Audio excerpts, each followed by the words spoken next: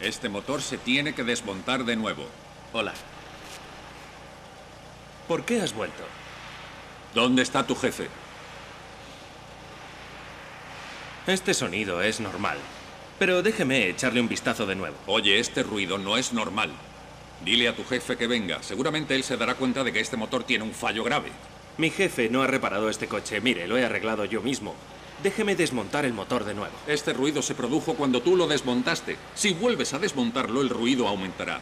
Dile a tu jefe que lo desmonte él. Tal vez consiga quitarlo. De acuerdo, lo haré. En este momento mi jefe no está. ¿Qué has hecho con este motor? ¿Por qué manipulas un motor tan delicado cuando careces de experiencia para hacerlo? Usted dice que hace ruido, pero funciona perfectamente. No solo no eres mecánico, sino que también, y perdona por la palabra, eres duro de oído. Escucha.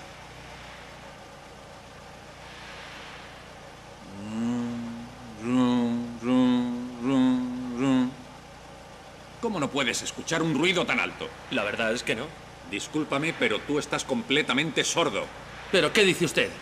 Él no ha hecho su trabajo correctamente. ¿Cómo quiere que le hable si está sordo? No sabemos reparar su coche, ¿vale? Suba al coche y lárguese. ¿Quién eres tú para meterte en este asunto?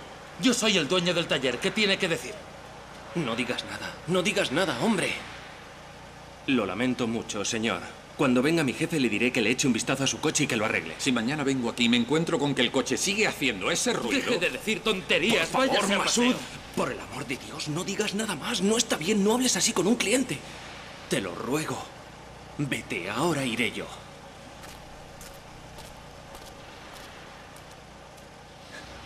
Lo siento mucho, señor. Váyase usted, este coche mañana no hará ningún ruido. Si mañana mi coche no está reparado, les demandaré a todos ustedes y haré que cierren el taller. Adiós.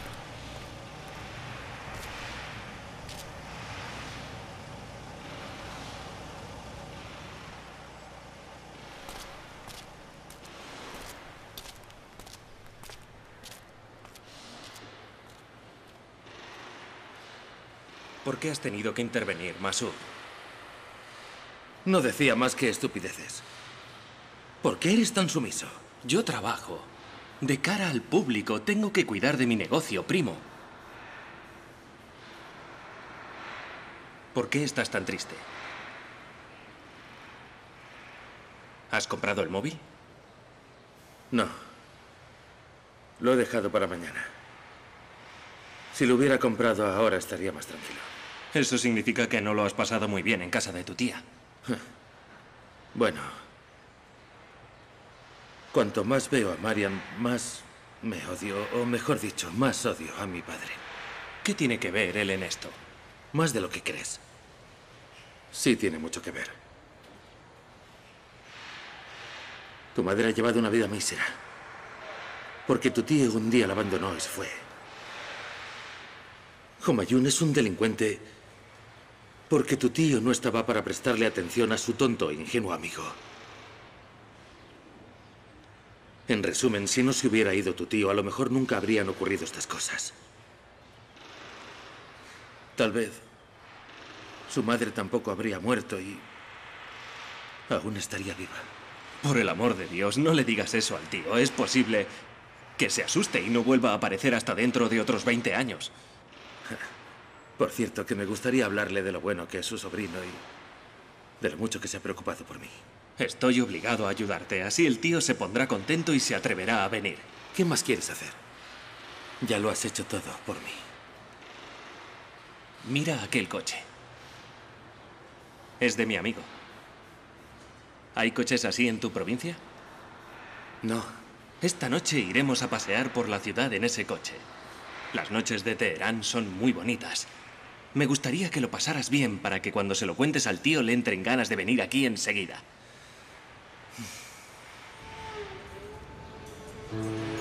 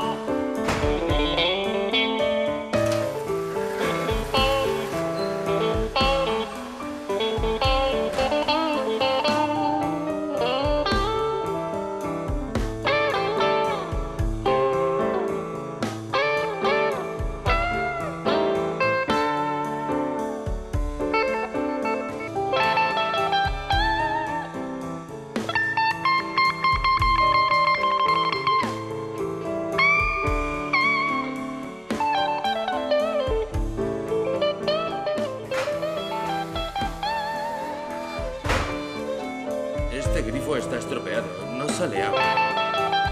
No está estropeado, mira.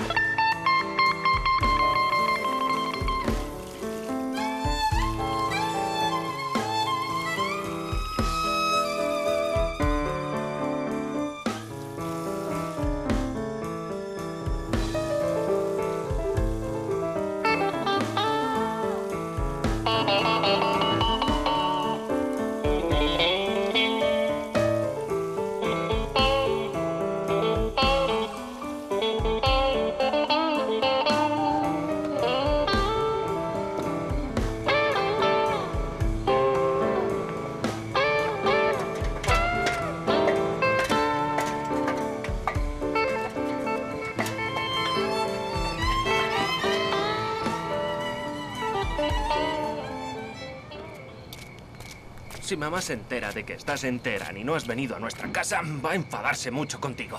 Levántate, quiero poner esto ahí. ¿Cómo va a enterarse? Vamos a casa, te prometo que mi madre no te hará ni una pregunta. Como mi madre ya estará dormida, entramos sigilosamente. ¿Qué diferencia hay? Me acostaré aquí mismo. Aquí se está más fresco. Masraim nada más tiene una manta. Temo que al amanecer tengas frío. No temas, no tendré frío. Te has portado muy bien conmigo. Es que soy muy buen chico, ¿verdad? Ojalá no fueras tan bueno. Ojalá fueras un canalla exactamente igual que tu padre. No hables así. Di que ojalá mi padre no hubiera sido un canalla. ¿Te gustaría que tu tío, que sin ningún motivo desapareció, hubiera regresado y hubiera impedido que tu padre se casara con Mariam? Claro que sí. ¿Por qué no? Me gustaría que el tío no se hubiera marchado nunca y que no la hubiera dejado casarse con mi padre. Nunca habrías nacido tú. Mejor dicho, no existirías. ¿Por qué no existiría? Sí que existiría, solo que mi padre sería otra persona y mi madre no habría sufrido. Es imposible. Si tu padre no hubiera sido Anus y Marian se hubiera casado con otro, tú no serías ahora su hijo. Serías otra persona. Tienes razón. Eso no me gusta. ¿Qué no te gusta? Eso de que no hubiera nacido y habría otra persona en mi lugar. Eso no me gustaría. ¿Te gusta ser como eres? Pero no te gustaría no haber nacido. Sin embargo, te gustaría que tu madre fuera más feliz, ¿no? Así mi madre tampoco estaría contenta. Ella me quiere a mí tanto como la quiero yo, primo. Sí. Tienes razón. Lo que has dicho antes es correcto. Ojalá fueras una persona cruel y malvada. Así tanto tu madre como yo estaríamos felices de que no existieras. ¿Pero es que tienes algún problema conmigo? ¿Es que te hubiera gustado que yo no existiera? ¿O qué? Vete a casa. Tu madre estará preocupada por ti.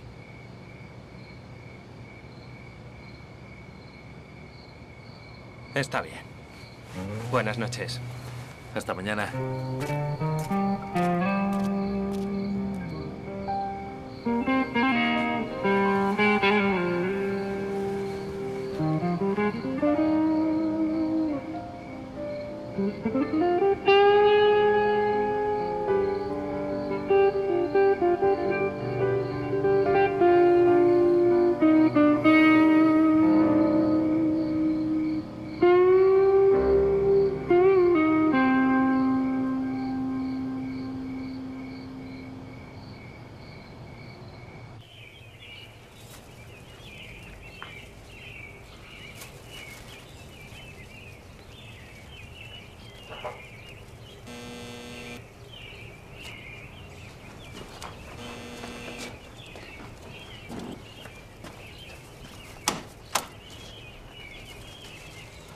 Hola.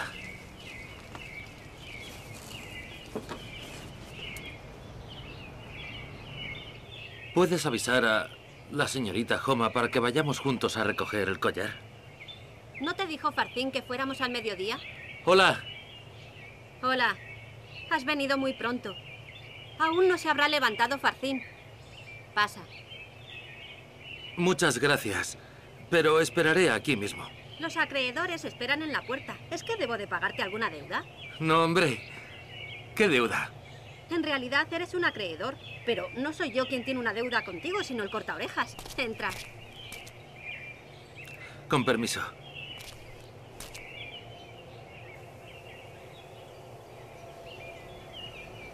Hola.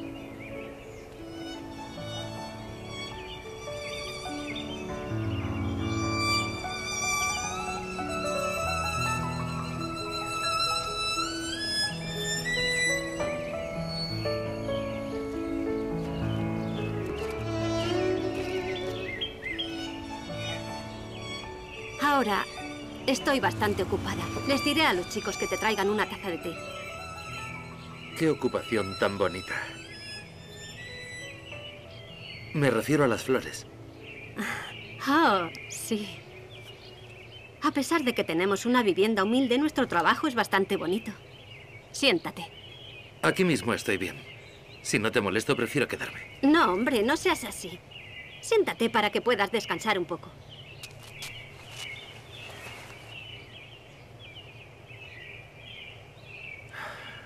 Vaya, qué bien huelen. ¿Me crees si te digo que ya no siento nada? ¿A qué te refieres? Me refiero al olor de las flores. Como todas las mañanas estoy rodeada de ellas. Hola. Hola, muy buenas. Señorita Tare, ¿lo he dicho bien? Sí. ¿Todavía no se han despertado los chicos? No.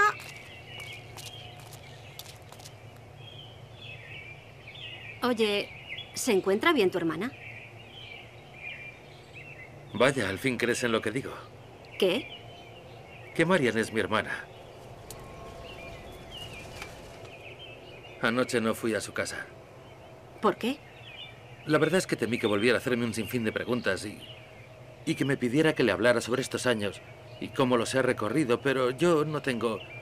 no tengo nada que contarle. ¿Dónde pasaste la noche? En el taller. El taller de mi sobrino. ¿Por qué no viniste con nosotros? Tare, ve a despertar a los chicos. Ya los he despertado. Sahin dijo toda clase de maldiciones y Rahim me lanzó la almohada. Señorita Homa, tengo mucho miedo. Tanto que anoche no pude dormir. ¿De qué tienes miedo? Tengo miedo de que no pueda conseguir el collar y me quede atrapado aquí. En este año, en el 88. Hablas de una manera extraña, como si la vida en el pasado hubiera sido mejor para ti que la de esta época. ¿Es así? No sé, es que hoy en día hay muchas cosas que por aquel entonces no existían. Por ejemplo, anoche fui a pasear con mi sobrino. Todo está muy bonito. Me encontré con algunas cosas que me sorprendieron mucho.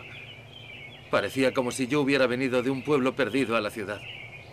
Entonces, ¿por qué quieres regresar? Es que... es que mi vida se encuentra allí. Mi madre, mi hermana, mis parientes y amigos, todos están allí. Sí, tienes razón. Debes regresar. ¿Y qué pasará si no puedo?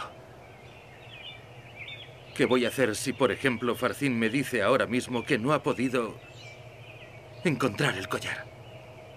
En primer lugar, espero que lo encuentres. Y si por desgracia no lo encontrarás, no tendrás otra alternativa. Tendrás que quedarte aquí y empezar una nueva vida. No podrás hacer otra cosa. Nosotros tenemos una casa, tía. Puedes quedarte a vivir aquí. Solo necesitas poder ganarte la vida. Tare, coge las tarjetas de la suerte y ve a trabajar. Tengo hambre, quiero desayunar. Pues desayuna. No tenemos pan. Hamid, ve a por el pan. No, ya voy yo. No, hombre, no. Hamid lo comprará.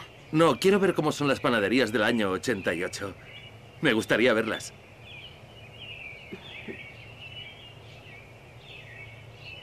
¿Cuántos panes compro? Cuatro o cinco. Muchas gracias.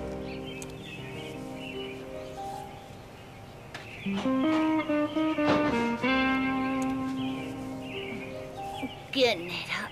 ¿Cuántas veces te he dicho que preguntas demasiado? Vete a la habitación.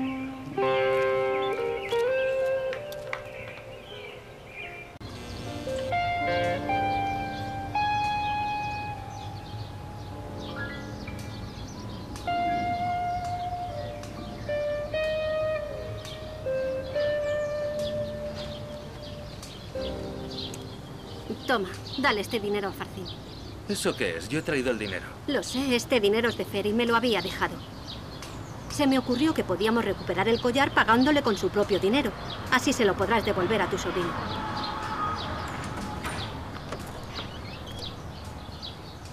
Reciba mi más respetuosos saludos. ¿Has recuperado el collar? ¿Has traído el dinero? ¿Cómo está, señorita Homa? Coge el dinero y dale el collar. No está bien que lo reciba aquí en la puerta. Vayamos dentro. Tu casa huele mal. Huele como tú. Y tu olor nos repugna. En esta casa falta una dama hacendosa como tú. Que con su dulce aroma oculte mi mal olor. Déjate de tonterías, el collar. Mide tus palabras, niñato. Si no, te voy a retorcer el cuello como ayer. Que no se te olvide el resto. De lo contrario, serás tú quien acabe con la cara hecha una pena.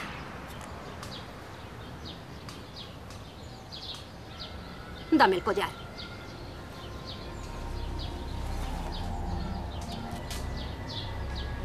Dame primero el dinero.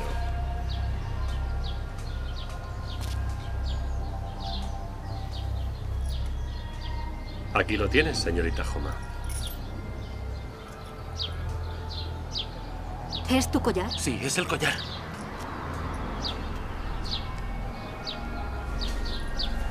No te olvides de pagarle su parte a la señorita.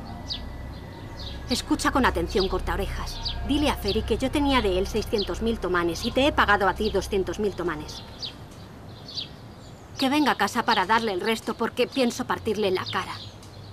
Vámonos.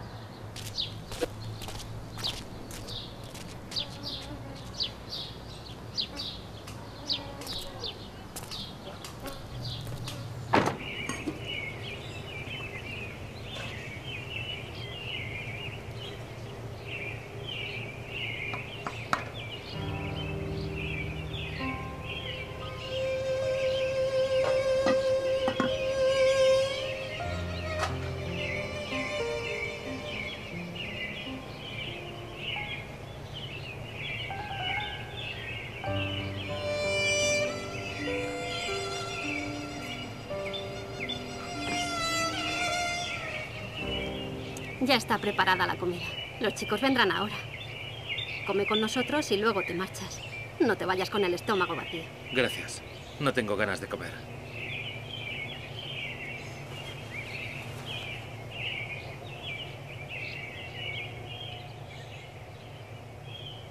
¿Por qué uno de ellos se ha vuelto amarillo? Me refiero a este sol. No sé.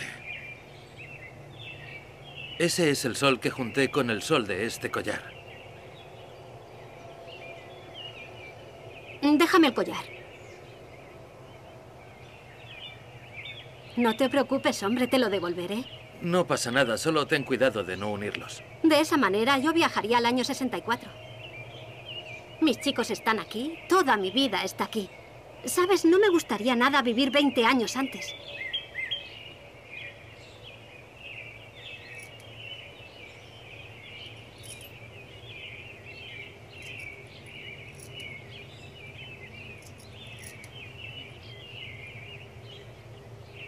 Son exactamente iguales. ¿Quieres decir que si juntas los dos soles viajarás en el tiempo? ¿Es eso? Sí. Así es, o eso espero. ¿Y qué pasa si viajas en el tiempo pero 24 años hacia adelante? A ver, entonces estarías en el año 1410... No, no, en el 1412. Tal vez te vayas a ese año. No, no. No estoy seguro de que viaje al año 64. Pero ¿qué haré si viajo en el tiempo 20 años hacia adelante? No tengas miedo, hombre. También puedes viajar hasta el 64. Yo creo que tienes que juntar el sol del collar con el que se ha puesto amarillo. Tienes que hacerlo por medio del mismo que te ha traído hasta aquí. Sí.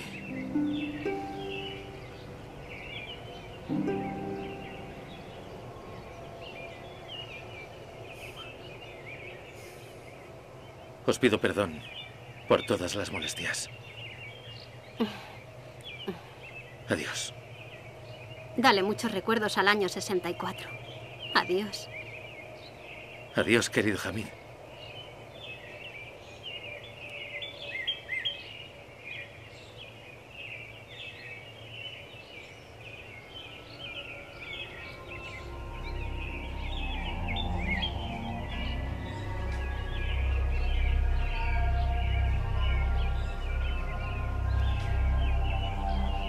Espera un momento.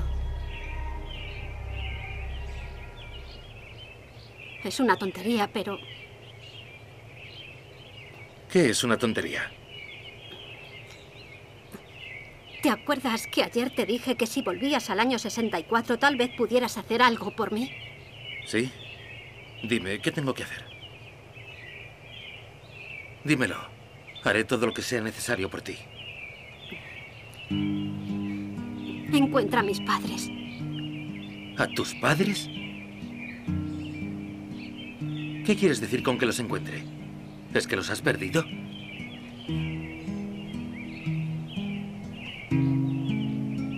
Cuando era muy pequeña, mis padres me vendieron. Y yo he estado a cargo de una mujer que se llamaba señora Jabar. Ella negoció con mis padres a través de un intermediario. Por eso ella misma no conocía ni había visto nunca a mis padres.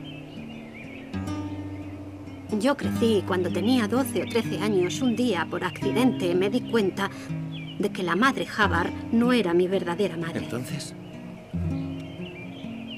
Entonces Hamid tampoco es tu hermano. No. No es mi hermano, pero...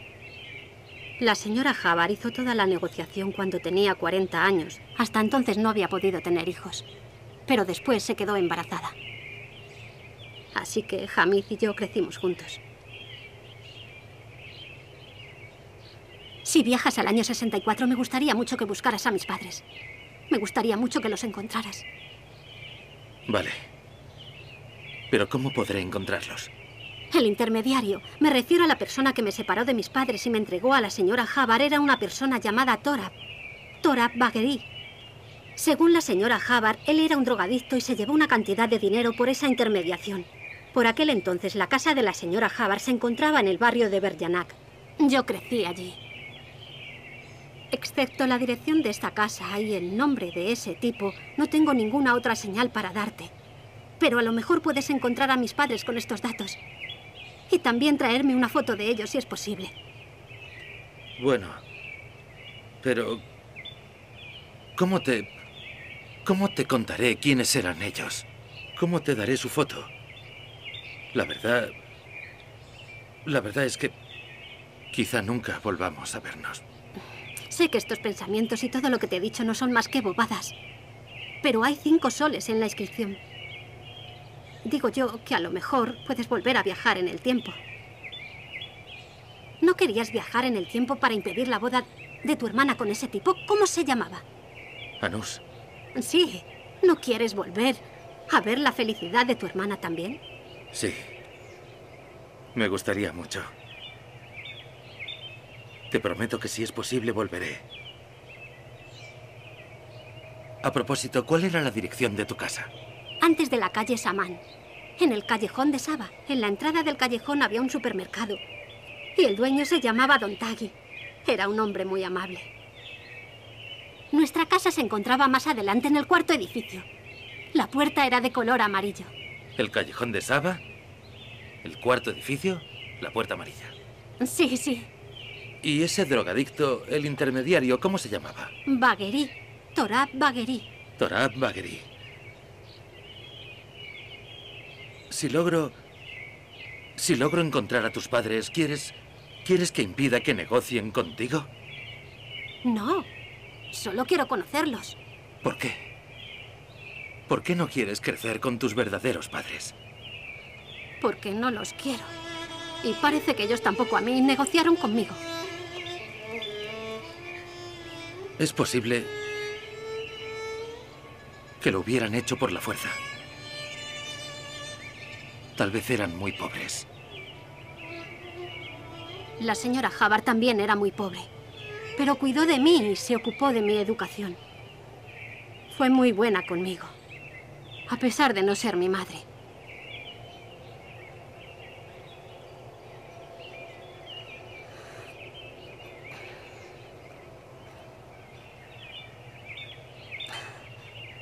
Bueno, ahora ya puedes irte.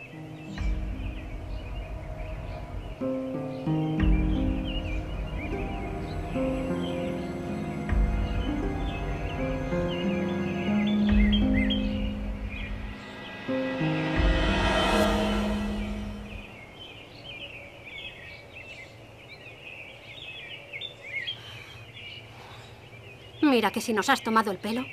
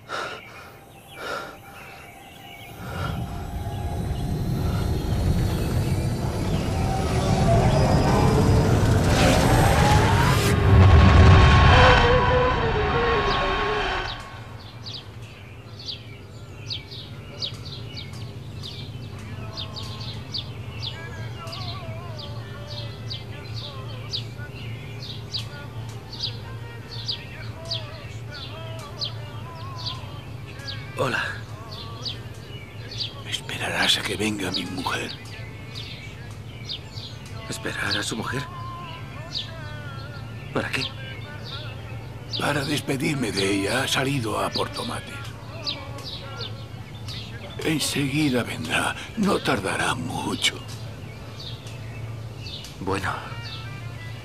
Esperaré. Hace mucho tiempo que te estaba esperando. ¿Me esperaba a mí? ¿Y por qué? ¿Verdad que no me quieres hacer sufrir? ¿Pero qué dice, abuelo? Ya tengo suficiente con todo el sufrimiento que me has hecho pasar viviendo esta situación.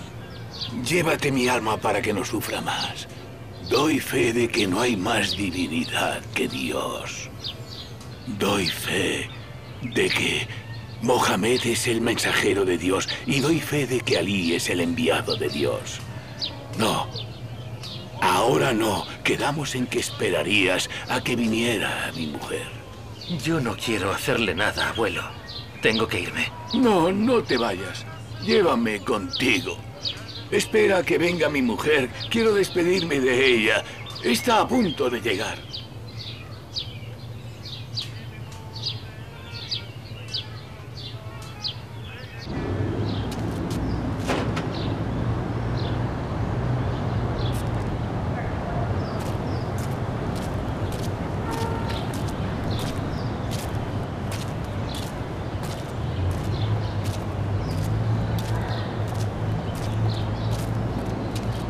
Perdón, señora. Dime. Hola. Hola. ¿El kilo de tomates cuánto cuesta? 15 riales.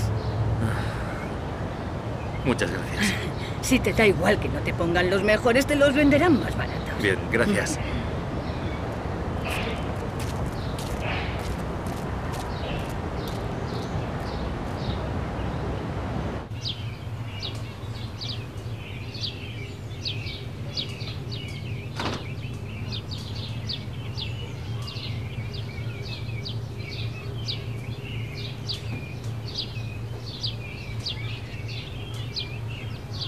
Ya llegó la hora, Sogra. ¿La hora de qué? La hora de irme. La hora de separarnos. Otra vez vino ante ti el ángel de la muerte. Sí. Ahora, déjame en paz, querido Reza. Tengo un montón de cosas que hacer. Te doy mi palabra de honor de que esta vez es diferente, Sogra. Ha venido a verme con la apariencia de un joven elegante. Estuve hablando con él. Le pedí que esperara hasta que vinieras para poder despedirme de ti. Oh, está bien, querido Reza. Adiós. Adiós, querido.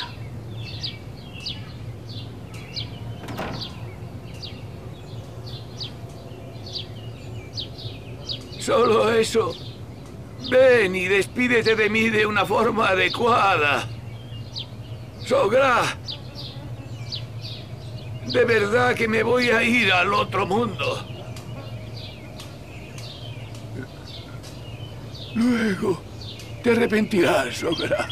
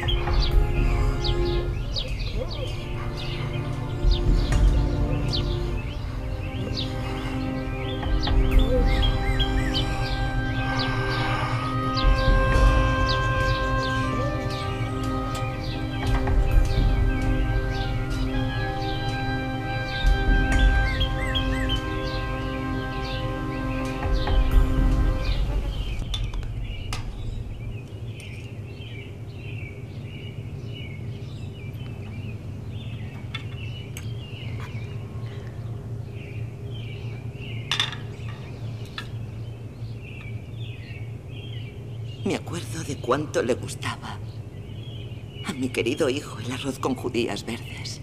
Habla de una manera como si Mosén hubiera muerto. Dios no lo quiera. Cierra el pico que no sabes lo que dices. Dije Dios no lo quiera.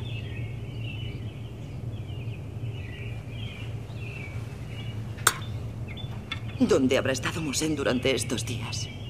Solo lleva dos noches sin venir a casa, mamá. ¿Dos noches es poco tiempo? Desde que tu padre murió, no nos había dejado solas nunca y lo peor es que no nos ha hecho llegar ninguna noticia de él. Oye, a ver si han intentado atacarle para robarle el collar de la abuela. ¿No me dijiste que había ido a venderlo? El señor Anus me llamó y me dijo que hoy me recogería para ir juntos a buscarlo. Ni hablar. Mientras tu hermano no esté en casa, tú no saldrás con Anus ni tampoco hablarás con él. Si le ha ocurrido algo a Mosen, toda la culpa será tuya y de ese tal Anus. Vosotros habéis conseguido que él se pusiera triste y por ese motivo no ha tenido más remedio que marcharse.